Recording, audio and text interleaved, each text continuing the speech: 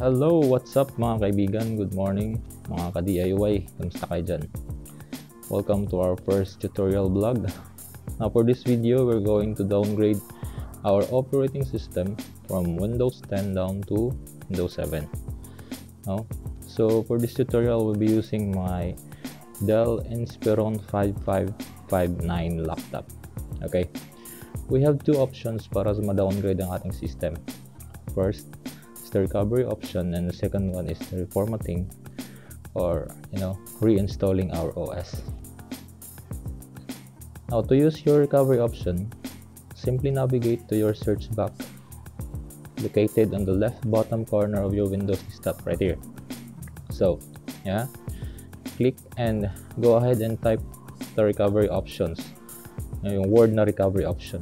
And then from there lalabas ng recovery options and then just simply open it.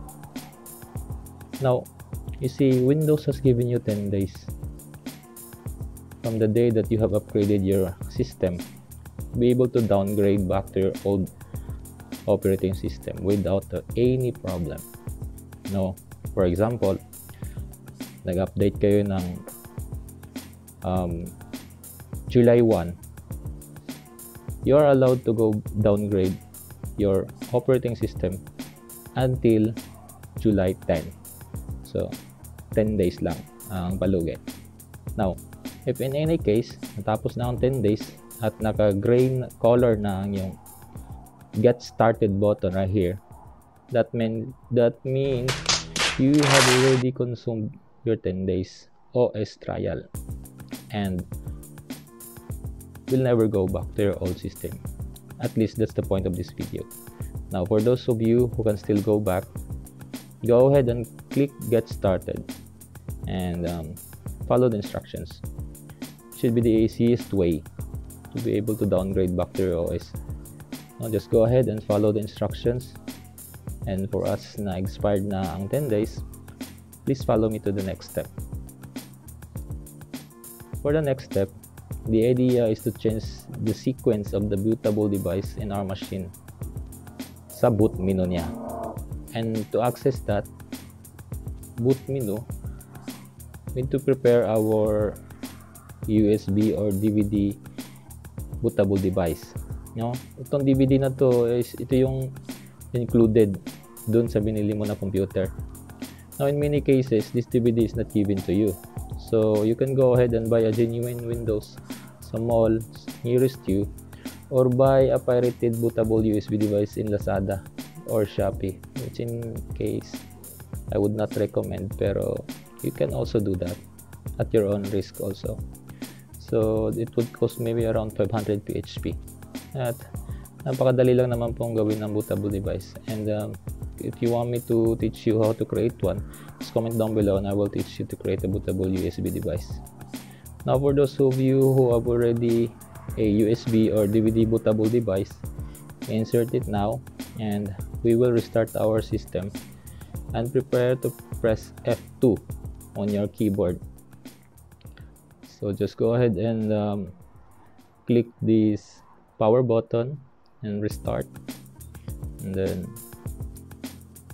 prepare nyo na yung ano nyo, fingers above F2 so So we will be pressing F2 right before siya mag-welcome. Right before lalabas yung um, logo ng Windows para ma-access natin yung bootable device. So kailangan natin siyang restart guys. Just click restart.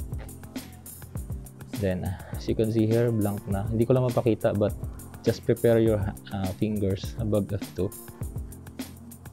And then it should restart by any moment. And then press it. Press nyo lang siya. And then this should give you an access dun sa boot menu. Yan. So we'll just wait for a few moments. No, hindi ko na lang i-skip to kasi yan na. So press F2 yan repeatedly from there. Ayan, as you can see, ayan, lumabas na yung uh, boot menu. Ayan, so let me, let me, let me take my camera. all right so now you have here your boot menu. Sa Dell Inspiron 5559 so go ahead and go to the sequ boot sequence. You can use this arrow on your keyboard that uh, you can also use this ano um, mouse na lang para mas madali Ayan.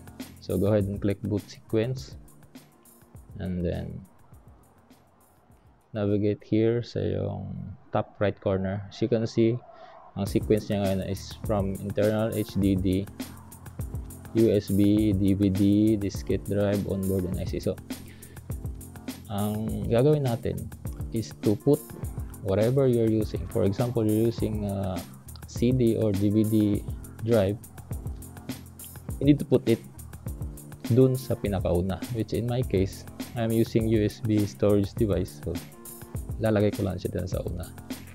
No? So, kung DVD ang ginagamit nyo, just put it on the top by clicking this arrow up here. And so, ayan, nasa top na siya. So, ako nasa USB storage device yung bootable ano ko, Windows ko. So, yan ang ilalagay ko sa first.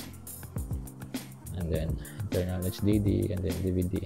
Yan. So, that's basically it.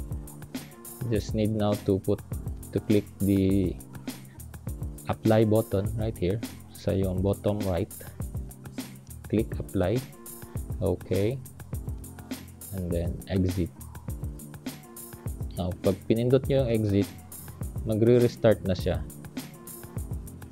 and um, it will access your USB bootable device or your DVD bootable device so it's running now Ayan. Okay. Now, Windows is already loading your files. That is that means naka-access na siya doon sa USB mo. Nilo-load niya na yung Windows 7 mo.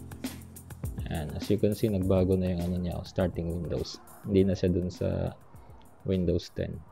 So, it is now accessing yung bootable device mo. Ayan.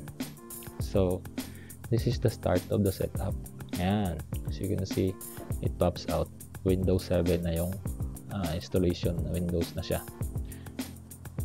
so English blah blah blah time and currency keyboard method just click next. And install now.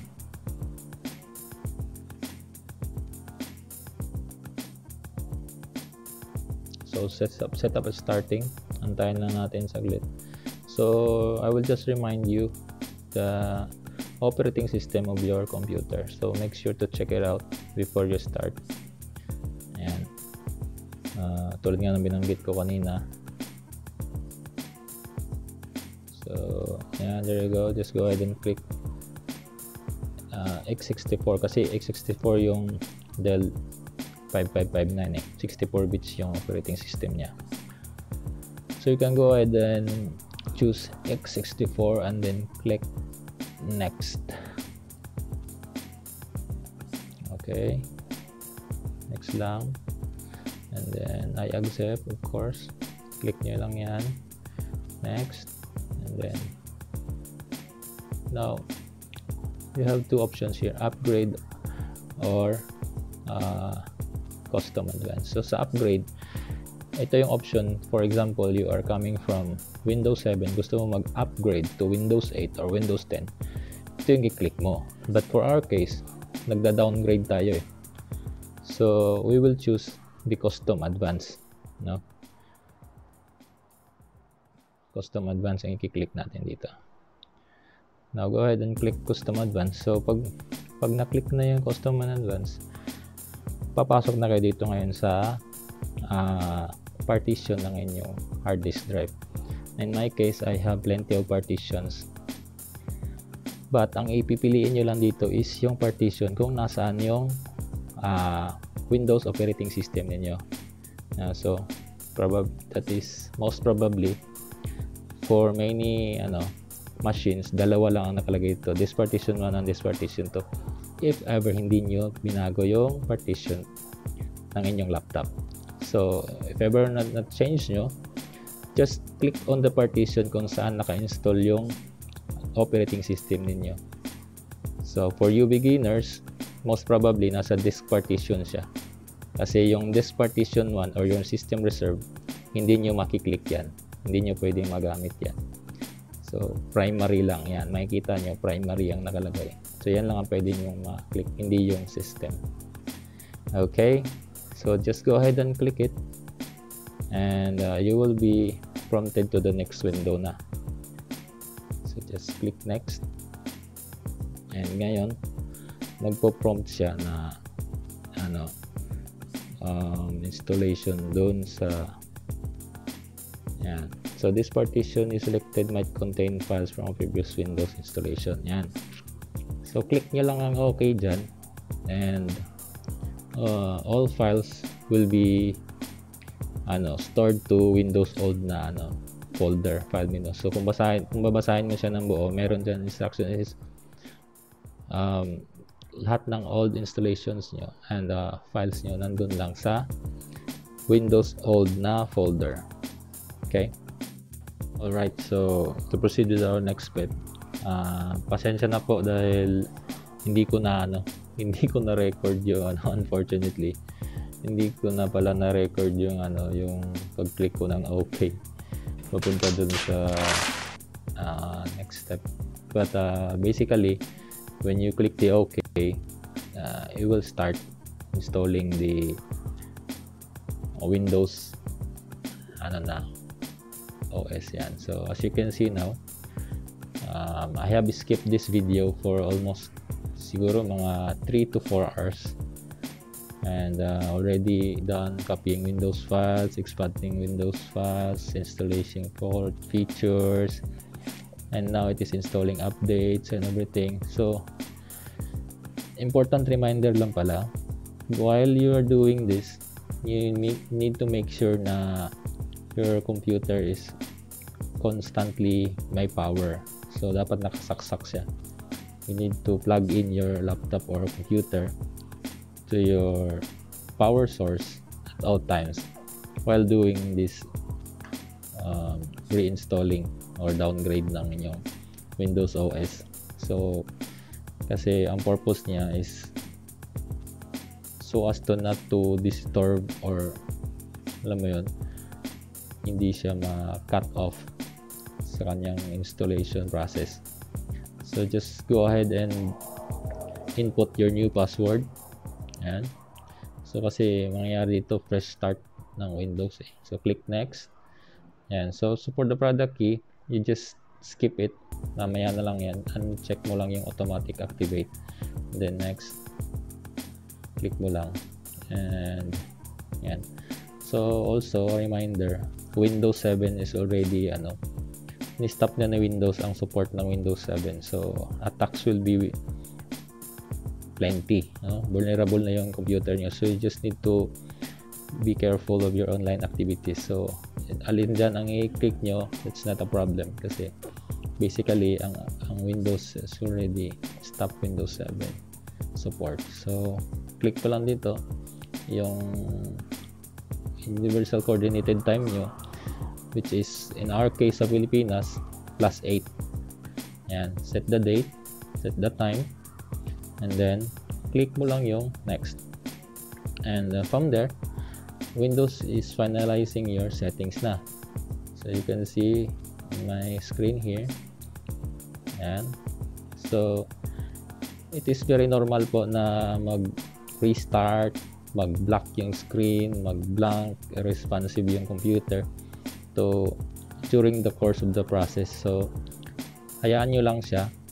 Just leave it there and um, antayin nyo lang siya talaga. You need plenty of patience here. Hindi po siya mabilis na proseso, lalo na pag DVD device yung gamit nyo. And uh, you can hear swirling sound and everything. Bayaan mo lang siya. And it will most probably be done in any moment. Yan. So, it's now starting the Windows. So, it will boot up, restart plenty of times. Which is very normal po. Hayaan nyo lang siya. And wait for it. You need plenty of patience. Yan. So now it is booting up. As you can see Windows 7 Ultimate na yung nakalagay niya. So from Windows 10 we have already successfully downgraded to Windows 7 Ultimate. So thank you guys for watching my video.